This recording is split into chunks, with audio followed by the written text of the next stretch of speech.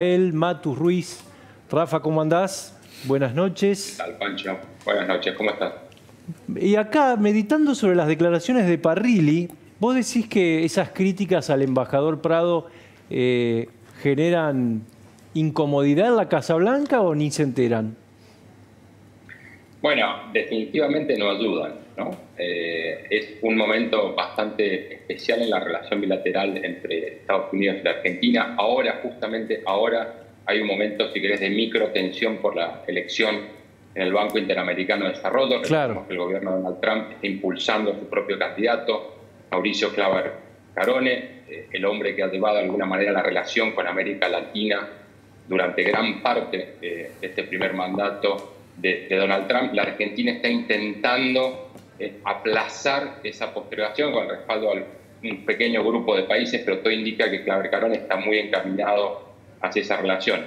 Y que en la Cancillería Argentina dicen que no, que están que, pueden bloquearlo, o por lo menos en los últimos días decían eso.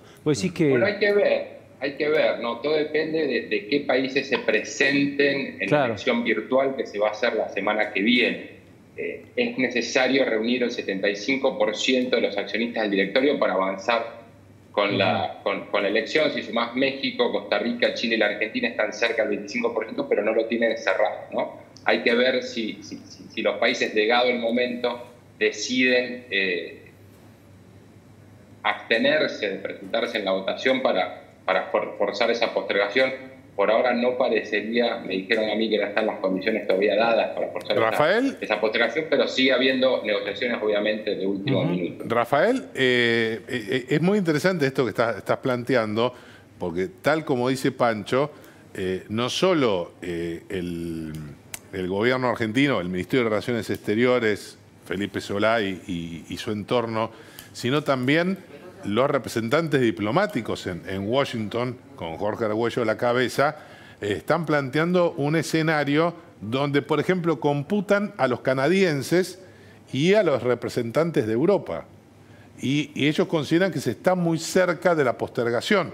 Vos decís que están mal informados. No, no, yo eh, digo, está abierto, ¿no? Eh, creo que no está asegurado que se vaya a postergar la elección, pero tampoco está 100% garantizado que se va a llevar adelante. Del, Departamento de Estado tuvimos hace poco una comunicación con Michael Cossack, el principal diplomático para la región, donde él se mostró muy confiado en que tenían los votos para llevar adelante la elección y para elegir a Claver Carone. Y hace muy poquito Claver Carone dio una entrevista al diario Español El País, donde dijo ya tener el respaldo de 21 países. ¿no? Hay sí, estaba confiado. Llegado el momento, si por ejemplo Canadá va a tomar la decisión de abstenerse eh, a participar de una elección porque directamente sería acusado por el gobierno de Donald Trump de trabar la elección del Banco Interamericano de Desarrollo. ¿no? Pues es una situación diplomática bastante delicada que todavía no está del todo acá. Diego. Rafa, ¿cómo andas? Eh, te llego de regreso a las declaraciones de Parrilli y pareciera como que el gobierno está jugando en algún punto, digamos, y con armas muy pequeñas, eh, pero, pero pareciera que algo así en las elecciones y jugándose muy fuerte a que Trump pierda. ¿Querés, querés escucharlas primero y, ahí te contesta? Dale, poné, lo que decía Parrilli ayer. El embajador Prado se ha sentido muy cómodo con el gobierno de Macri y sin duda a lo mejor lo ha apoyado, prueba de lo cual habría que ver si no formaba parte también de esa mesa judicial. Evidentemente, si este embajador de Trump en la Argentina vino a ayudar, hizo mucho daño y la verdad que lo que mejor debería hacer ahora es callarse la boca y no inmiscuirse en los asuntos internos de la Argentina, sobre todo con el embajador. Están apostando a que gana Biden. Lo que te decía es, están apostando claramente a la derrota de Trump, porque no, pareciera que va a ser fácil amigarse. Ahora, también es verdad, y vos lo conocés mejor que yo, el tema que los, si querés, los departamentos de Estado no son fundacionales. No es que un gobierno asume y cambia 180 grados la postura respecto de, en este caso, América Latina y si querés puntualmente Argentina. ¿Vos crees que esto igualmente puede condicionar la relación más allá de quien gane este tipo de chispazos entre Argentina o funcionarios argentinos y Estados Unidos? No, no, no, creo que digo, obviamente mm, vuelvo a, repetir lo, que es el principio, no creo que no ayuda, suma atención. Eh, Prado hay que decir también que fue un embajador que medio se lo presentaron a Trump para, para llevar a la Argentina, no es un hombre del riñón de Trump, el círculo íntimo de, Trump. Trump tampoco tiene entre sus principales prioridades América Latina eh, y tampoco la Argentina, ahora que no tiene un gobierno tan afín como lo era el gobierno de Mauricio Macri. Prado llevó eh, a, la Argentina una intención de participar en una reforma eh, de la justicia, es un juez de carrera de aquí en Estados Unidos, eh, por eso creo que él habló desde ese lugar, no tanto como desde un lugar buscando una confrontación con el gobierno de Alberto Fernández, porque tampoco es, un diplomático de carrera, él viene del Poder Judicial de Estados Unidos. Rafa, obviamente no colaboran con la relación bilateral, pero no hacen al grueso eh, del vínculo entre Estados Unidos y la Argentina. ¿La apuesta por Biden eh, puede ser acertada? ¿Cómo están las encuestas?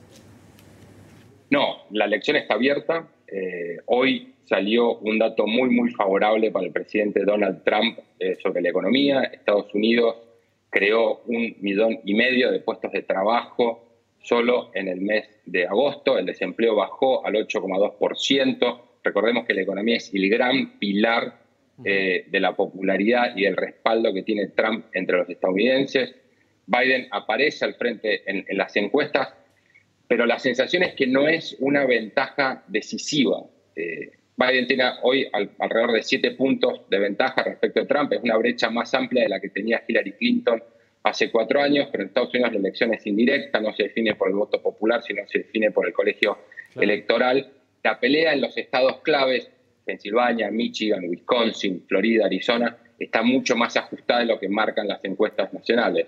Trump, además, obviamente es un político que ha eh, demostrado ser eh, lo suficientemente fuerte como para salir ileso de múltiples escándalos, un juicio político. Eh, no me sorprendería que terminara también resistiendo la pandemia del coronavirus y fuera reelecto. Insisto, creo que la, elección está muy, muy abierta y hoy está dada para cualquier de te hago la última cortita y te agradezco. Siempre recomiendo, lean a, Matus Ruiz, nuestro compañero.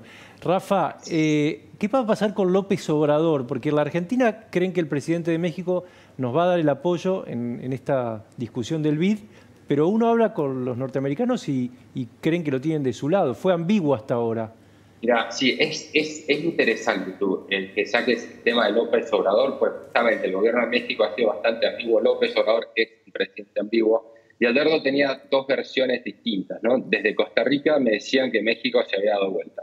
Eh, y ese había sido uno de los motivos por los cuales Laura Chinchilla, expresidenta de Costa Rica, que se había tenía previsto presentar, ya era visto por muchos como una decidió bajar su candidatura. Desde México me decían no, que la postura desde el gobierno de Manuel López Obrador sigue siendo la misma, respalda a Gustavo Vélez, el candidato del gobierno de Alberto Fernández, y ve con buenos ojos postergar la elección.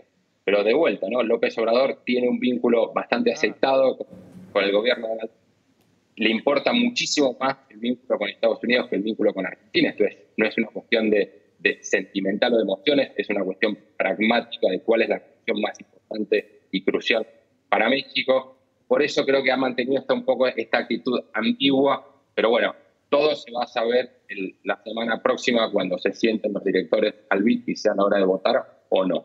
Es como Scioli, ¿no? Eh, Gracias, Rafa. Un gran abrazo. Ahora en unos instantes vamos a hablar, lo voy a poner en signos de interrogación porque me parece fuerte. La Argentina es un país que te invita a irte o a quedarte en unos instantes.